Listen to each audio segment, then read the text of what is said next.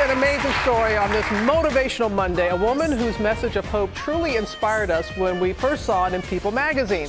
She's a mother of three who's facing stage four metastatic breast cancer. She's doing it head on, helping others who are newly diagnosed take control of their situation. She's going to join us in a moment with her beautiful family, but first, take a look at her story.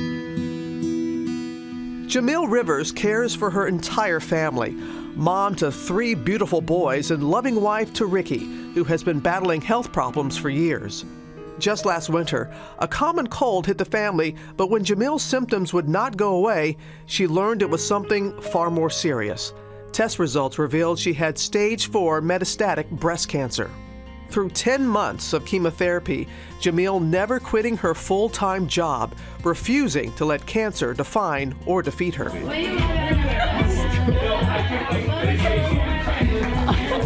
Now, Jamil making her mess her message, sharing her strength with others in need.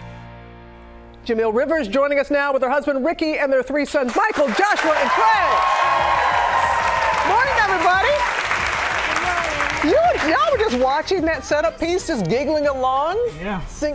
First of all, Jamil, how are you doing? How I'm are you doing? doing? Great. I'm yeah? doing great. I did a year of chemotherapy. Mm-hmm. Um, as I mentioned, I worked through chemotherapy the whole time, and now all of my tumors that were spread all over in my body have shrunk to microscopic size. Oh, that's great news. I know you're continuing to get checked every Yes. every three months or so. So every three months, I get Yeah. a scan. I just got my latest scan April 15th, and it's still clear. We'd love to hear that. We'd love to hear that. You, we, we saw your story, first of all, in People magazine, and the number of people that have reached out. There was one who said, Your consistent, cheerful messages and check ins became a vital part of my days, helping remind me that I am indeed entitled to be cheerful. This is somebody that's walking a journey like you are. How do you maintain that positive outlook? Um, I think whenever I'm feeling down, I just think about my family. Um, I hear family. their little munchkin voices saying, I love you, mommy.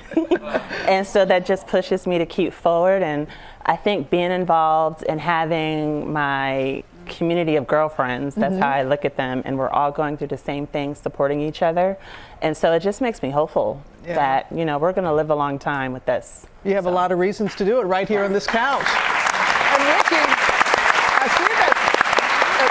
uh, Ricky, you've had your own journey, not once but twice. Twice. How are you doing? I'm doing good. I'm doing good. I uh, was diagnosed with kidney cancer in February. I recently had a surgery which removed the tumor that was on my left kidney, Mm-hmm. so I'm good with that. Uh, prior to that, I had colon cancer, stage one colon cancer. Had a colectomy, had that removed. I'm doing good with that. So no more signs of cancer.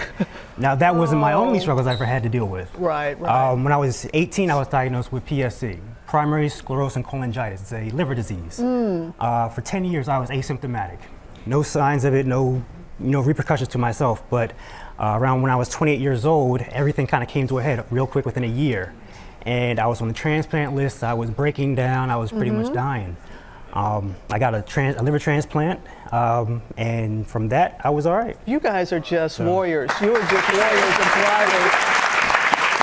All right, big brother. Big, I, I like that stash is coming in really nice right there, Trey. I like how that looks. What does it mean to you and your brothers to have this kind of strength from your mother and father? just looking at them and seeing everything they've been through, it just shows how strong they are, determined, just helpful to everyone else that's going through it, and uh, just forthgoing with everything that they're doing. Um, Just appreciate it. I'm sure that you do. I'm sure that you do. And you have a message, Jamil, that you want. You know, not all cancers are the same. Not all breast cancers are the same. Metastatic breast cancer, and, and you and you have a message that you want to make sure people hear. Yes, um, I think that we've gotten into a kind of stable complacency with breast cancer, that the work has been done because the survival is getting better. But metastatic breast cancer, only 5% of breast cancer research is going to stage four breast cancer, which is abysmal. We really need to have more attention to it.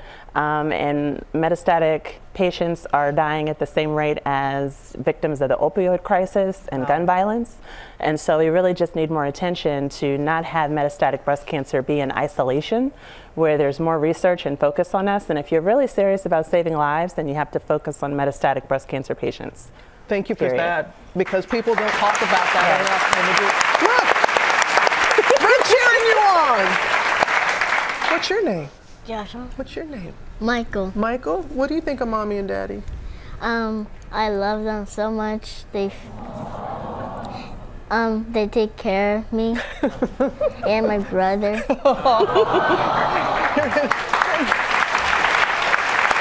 What is your? and sometimes, you know, you you all. What is your your message for somebody who's walking this right now, who's sitting at home, who may not have the support mm-hmm. that you have here? What do you tell them, and how do you help lift them up?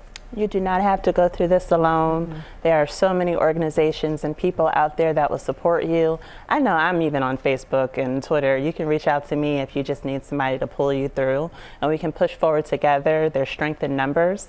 And um, people that are not living with this, know your risk, especially black women, because this is not even on our radar these days. We hear about diabetes and high blood pressure, but know your history, know your risk. That's it. Jamil Rivers. Follow her on Twitter. Thank you all very much.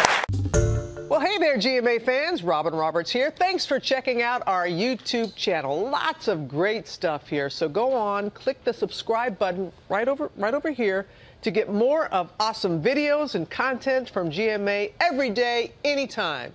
We thank you for watching, and we'll see you in the morning on GMA.